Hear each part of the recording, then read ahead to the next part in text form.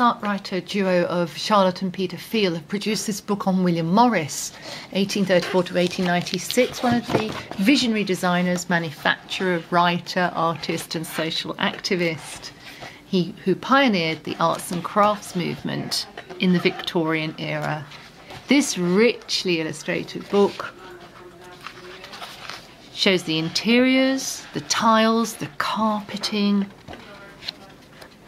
of Kelmscott House, the armoury at St James's Palace with the famous swords crisscrossed on the walls,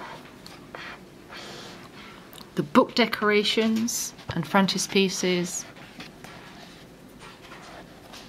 dazzling patterns and forms, which have shown all the way since through British textile and Bauhaus and modern environmentalism. It's brand new from Taschen at £10, 21 by 26 centimetres, and available through bibliophilebooks.com.